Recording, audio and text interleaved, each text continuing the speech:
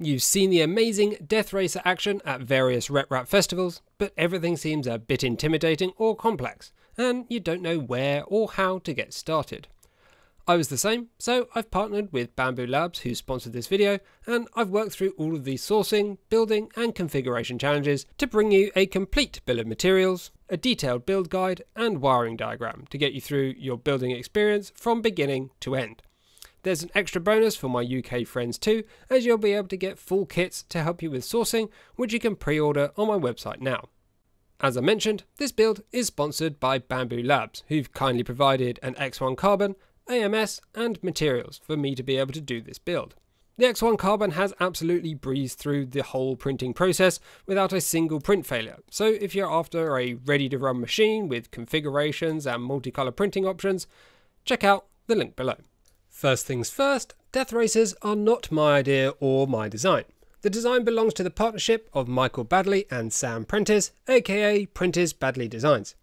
They've come together to bring you the Death Racers project. They're both talented robotics and droid designers with a passion for 3D printing. You can find Michael's Patreon page and Sam's YouTube channel linked down below.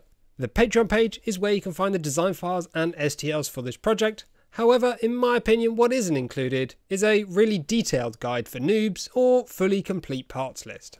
Since my fully detailed guide will be too much for this video, you can find my complete documentation and extended video via the link below for everything from buying the parts, assembling the kit, programming the controls, charging the batteries and setting up to race. So without further ado, let's get started. Of course, the first step is printing. I chose to go with black and yellow colours partly because it matches my V3D logo. Most of the body is made up from Bambu ABS with the black accents made from carbon fibre nylon, although I chose not to make any of the critical parts from this material as I didn't want any unfair advantage when it comes to battling. I also used a black ABS for some other areas where I took advantage of the AMS to make some multicoloured prints. The tracks need to be made from TPU, which is that flexible material. It doesn't have to be very flexible, like 95A is fine, but it doesn't work in the Bambu AMS. So I used just a standard food dehydrator to continually like feed and dry that material at the same time and that gave me the best results. I printed the modified two-part chassis and made a couple of custom modifications myself to some of the smaller parts just to make the process a little bit easier. In terms of part selection and sourcing, I'm building the Pro Drive version, which is what I'd recommend and was recommended to me by Sam Prentice. This exchanges the Pololu motors and PCB for some high performance motors with a gearbox and ESCs or electronic speed controllers. Alongside this change, I've also opted for a different battery which you need for the correct configuration, namely a 6000 mAh 2S LiPo which should work well for this setup. The BOM I've worked off of was quite limited, especially when it comes to electronics, wiring and screws, so I had to buy a bunch of different lengths and sizes, but this shouldn't be an issue for you if you use my BOM, as I recorded all the lengths and sizes that I used as I progressed through the build, and I've created a complete BOM with all those details in it. The next step is to do some pre-build checks and preparation. Pairing the receiver is definitely something worth doing straight away. If you start turning things on without a working transmitter or receiver, this can be problematic. While you've got the transmitter turned on, you can also set up mixing, which will make driving it quite a bit easier, I think, for most people. If you're doing it without the kit, you can also make the battery splitter harness at this point. This is pretty simple to do as long as you have a soldering iron with a large tip. The wires and connectors are large and take quite a lot of heat, so some helping hands can help this process too to prevent you burning yourself. Now is also a good time to build the kill switch wiring. This is just a couple of cables and a connector. I used Molex SL as it has a locking connector and I had these laying around, but JST SM or DuPont connectors would also work well. At the same time, you can check which orientation the switch needs to be using a multimeter or by setting up a simple circuit to know when it's on or off. The last thing to prepare is one of the ESCs. This will be connected to the kill switch, so you'll need to cut off the existing switch and wire in the connector instead, obviously one that matches the one that you put on the kill switch. With all this stuff prepared, we should now have a fairly smooth build process, so let's get into it. I started with the tracks. Cutting all the pins took a little while, but was simple enough to do really, and the final result looks really good. And it has pretty good flexibility as tracks go, and there doesn't seem to be any risk of the pins falling out, so that's good. After attaching the gearbox to the motor with a user modified spacer, it took me a couple of attempts to find a suitable configuration for the motor wires where they would secure to the motor, have enough length to reach the chassis, and not collide with the track wheels.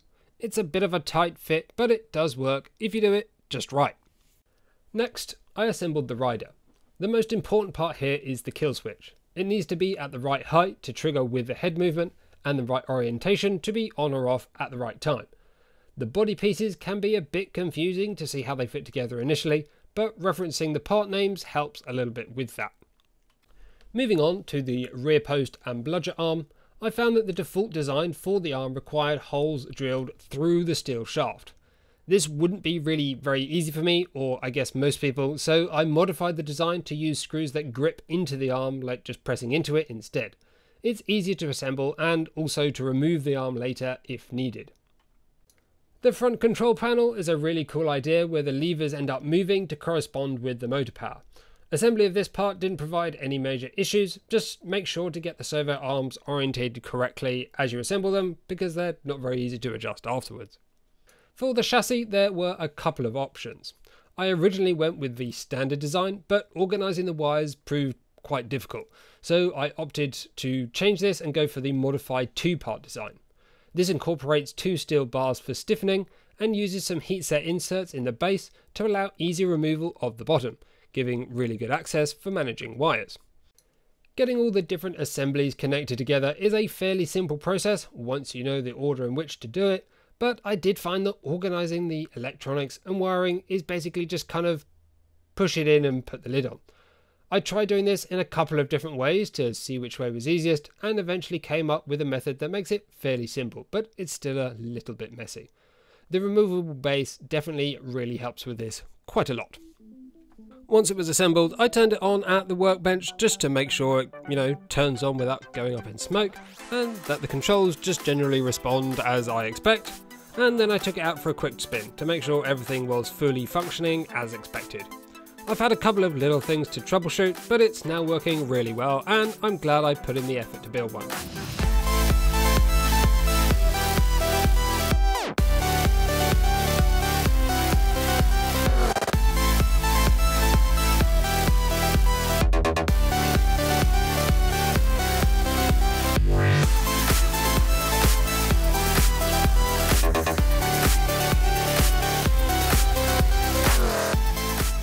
My current plan is to join in a Death Racer event in December at the Sanjay Mortimer RepRap Festival here in Oxford in the UK.